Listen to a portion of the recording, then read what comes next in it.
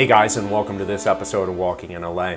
This one, we're traveling to Colorado, and we're continuing that previous trip, and we're visiting the old Argo mine and the old Georgetown Loop, which leads to a silver mine up in the hills. Both of these were operational in the late 1800s. I don't know about what time they stopped. I don't have that in my memory banks, as it was a year ago when I visited.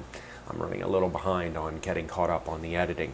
But uh, you can go panning for gold, which, come on, I, I think that's fun anytime you get to go chase down gold. Um, but do enjoy. There's a lot of history here. Couple quick notes. Uh, in the old Argo mine, the sound was so loud from the crush room, that big vacant room that you'll see in the video, that if you got close enough, you would pass out from the percussions and then you would have brain damage within 30 seconds and be dead within two minutes. So you had to stay away from it. It was so loud that it could be hear, heard from miles away.